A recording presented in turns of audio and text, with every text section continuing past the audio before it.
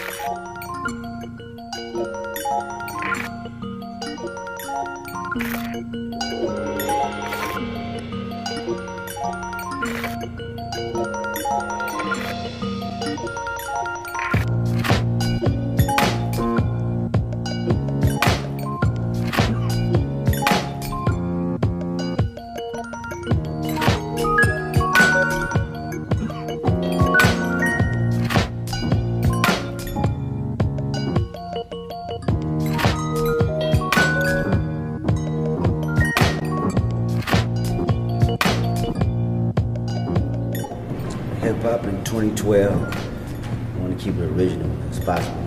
Um, that's something that I always pride myself on doing. You know, since since I you know got in this business, you know, really want to just keep the culture alive with originality. And um, you can see that with a few individuals, you know, that's out there doing their thing. That's really defining, you know, their own sound and you know what influenced them in hip hop.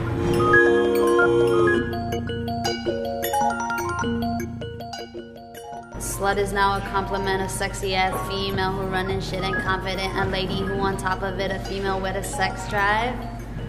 And that's my motto. So that's what I believe in. That's probably the, mo- the most profound, important thing I've said. Lil Kim, for sure. Lil Kim made me want to rap. Obviously, I'd say like any female that raps would say that.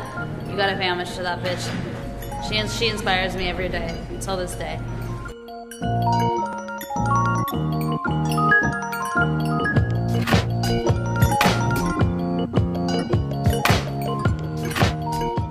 Think R&B is being re-energized with a, a more daring spirit at this point.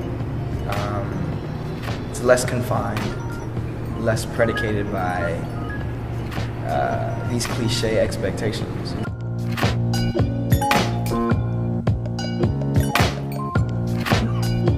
Who is the most stylish person in hip hop? Dominic Lloyd. Dominic Lloyd's the most stylish person in music.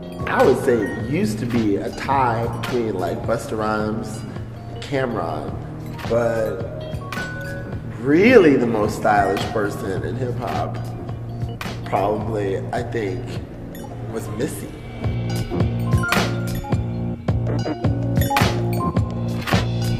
Hip hop in 2012, futuristic, be authentic, tell your own story. Don't tell nobody else's story but your own.